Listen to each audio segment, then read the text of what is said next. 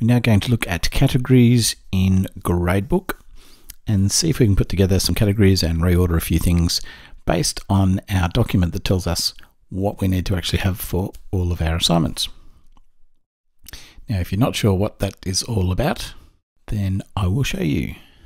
So this is what our gradebook completion looks like, or our gradebook and completion. So there's two parts here, but we're only going to look at the categories section at the moment and see if we can divide our five tasks into the three stages that we've decided are the way we want to break up our content or break up our grading in our gradebook. So we need to create stage one, stage two, stage three, and put our tasks in there. Let's go do that.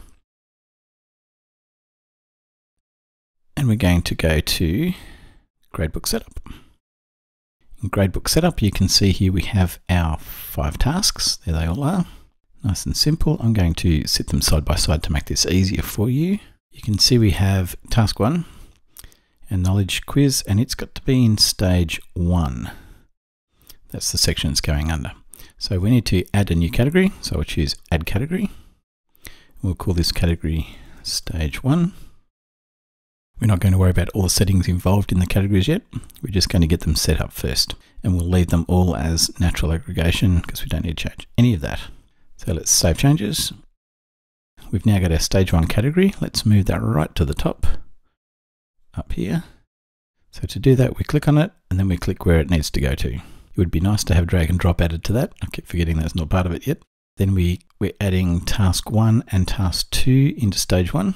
So let's move task one into stage one, task two into stage two.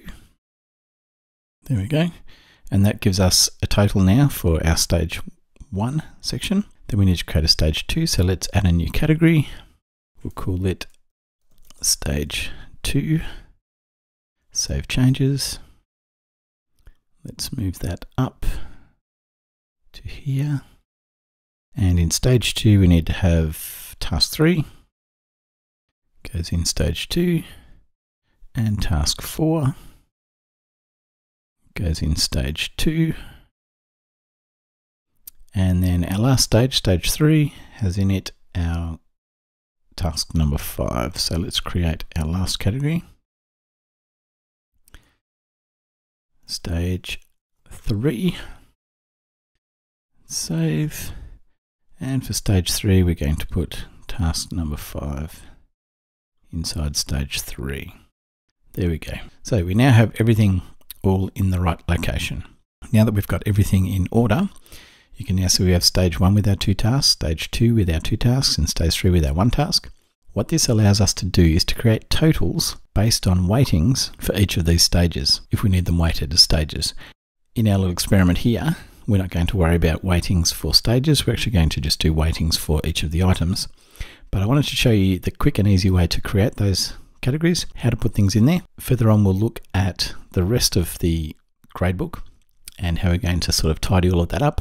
First of all, there's the categories, and that's how you add them.